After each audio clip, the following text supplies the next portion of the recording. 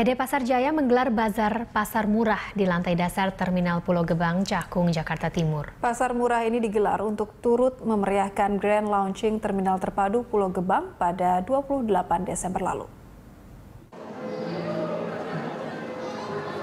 Pada bazar ini terdapat kurang lebih 147 stand yang disediakan pihak pengelola Pasar PD Jaya. Seluruh stand ini diisi oleh pedagang dari Pasar PD Jaya.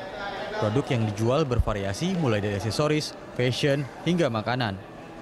Manajer unit pelayanan lain Terminal Pulau Gebang, Murdianto berharap dengan digelarnya bazar ini mampu menjadikan lantai dasar Terminal Pulau Gebang sebagai pusat perdagangan yang dikelola oleh Pasar PD Jaya. Ke depan, pasar ini, eh, Terminal Pulau Gebang ini, yang lantai satu dan seterusnya ini bisa eh, menjadi menjadi pasar kembali setidaknya Pasar Jaya siap untuk mengelolanya.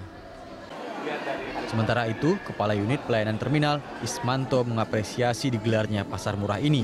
Ismanto mengungkapkan, dengan adanya pasar murah ini juga membantu pengunjung dan pengusaha PO yang ada di terminal ini untuk memenuhi kebutuhan makanan dan lainnya saat bekerja maupun melakukan transit di terminal ini. Hal ini diungkapkan Ismanto karena memang sejak diresmikannya terminal ini, sarana dan prasarana yang belum memenuhi seluruhnya masih menjadi salah satu hal yang dikeluhkan pengusaha PO.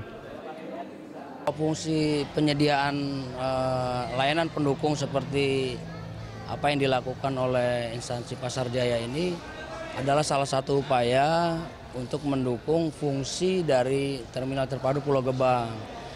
Kenapa? Karena kan ini adalah fungsi yang melayani perpindahan para penumpang di tempat ini.